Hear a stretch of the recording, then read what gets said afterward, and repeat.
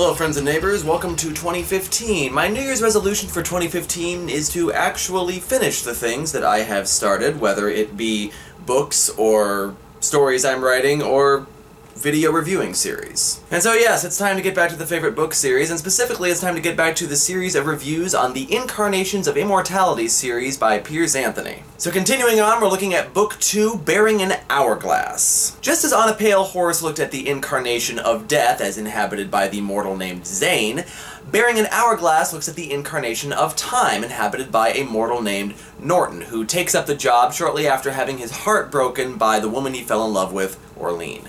Now this is the incarnation of time, and if you know anything about me and my preference in stories, you know that I love time travel and stories about time. I'm fascinated by the concept, I'm fascinated by stories that move back and forth through time. My favorite book is The Time Traveler's Wife, my favorite movie is Back to the Future. I just love time travel. And the incarnation of time, the protagonist of this story, is not only somebody who can travel back and forth through time and bend time to his will, but he also lives backwards. I mean, all of those are fascinating ideas, and this is a book that should hold endless interest and fascination to me. This book bored the ever-loving snot out of me. Even as a kid, this was my least favorite book in the series. 1, 6, and 7 were my favorites. I liked 3 and 5. 4 was alright, and 2 I basically read because it was part of the series and I felt like I had to. Now, this is not an uncommon affliction with series of stories, whether it be a book series, a movie series, or a television series. The second installment of that series usually suffers in some way. I call it second book syndrome. Either the first installment of the story was so good and set expectations so high that the second installment of the story can't hope to match them, or or, after achieving success with the first part of the series, the author doesn't feel the need to really try as hard with the second part of the series. And I will admit that my high expectations from On a Pale Horse did factor a little bit into my opinion of Bearing an Hourglass. On a Pale Horse used the personification and the incarnation of death to give us a really multifaceted and in-depth look at the topic of death itself.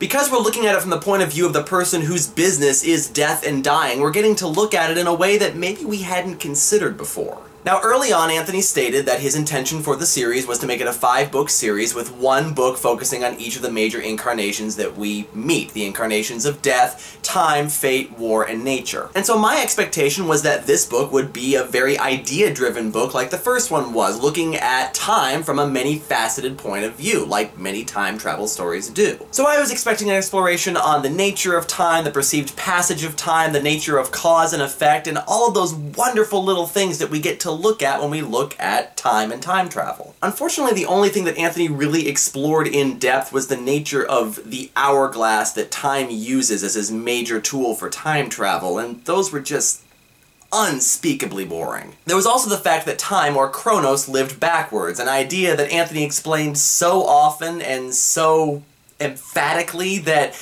it really left nothing to the imagination and it just took up so many pages of the story that could have been taken up with something more interesting. In short, rather than exploring time from a interesting and philosophical perspective, Anthony just explains and explains and explains, and my god, shut up already, explains the technical nitpicky aspects of how time works in this specific universe. So it's not an idea-driven story, and in lieu of that, I would have accepted a character-driven story. I'll always accept a character-driven story. But if Anthony's books have one fault, and they don't, they have several, but if they have one fault, it is characterization. Anthony basically has one male protagonist and one female protagonist that he writes about constantly. Yes, he'll change little personality quirks and maybe even their appearance, kind of, but that's all they are, just quirks. It's essentially the same personality every single time. And the character of Norton is no different. He's bland and he's boring and he's just utterly forgettable. Yes, he has a tragic romance at the beginning of the book, but honestly, it would have made a good book on its own, but it really doesn't factor into this story, and the result is that by the end of the book, it's basically just glanced over. It's a little side story that really doesn't go anywhere. None of the characters left any kind of impression on me. Even the Office of Time itself isn't all that interesting. The first book gave us quite a bit of detail on the incarnation of death and what the office did and why it needed to exist, but after reading this book at least two times, I honestly couldn't tell you why the incarnation of time needs to exist, or what exactly the incarnation does, other than live backwards, float back and forth through time, and occasionally sleep with the incarnation of fate. So finally, given what an interesting story Anthony set up in the first novel with the battle between God and Satan and all that sort of thing, I was expecting this to at least be a plot-driven novel. Add to that the fact that this novel takes place 20 years after the end of the first novel, and according to the first novel, something really, really important is supposed to happen 20 years after the events of the first novel, and so I thought, okay, this is good, we're going to see something really interesting happen, we're going to really move this plot forward. But even though I know that Norton defeated Satan and eventually won the day, I honestly couldn't tell you what he accomplished. Because essentially, there really is no plot. Nothing really happens. There are a bunch of little subplots here and there, but there's no main plot. There are whole chapters in this book, chapters plural, that are nothing more than just distraction and offer little, if anything, to the overall story. Seriously, when I was rereading this book, I actually skipped two whole chapters two chapters, and it didn't make one bit of difference in my overall perception of what was going on in the story. None.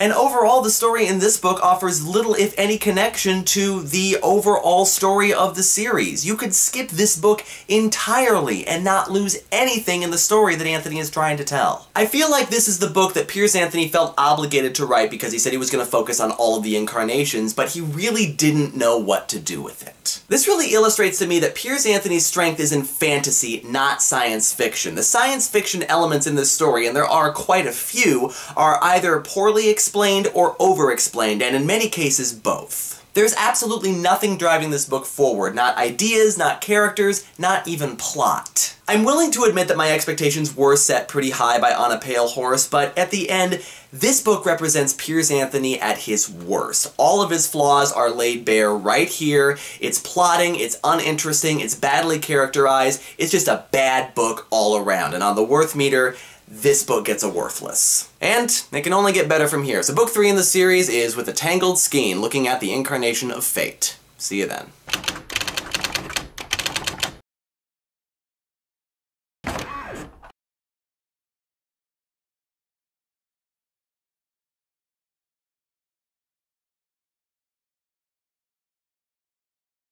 And now my puppy has come to join me. Hello, Shadow.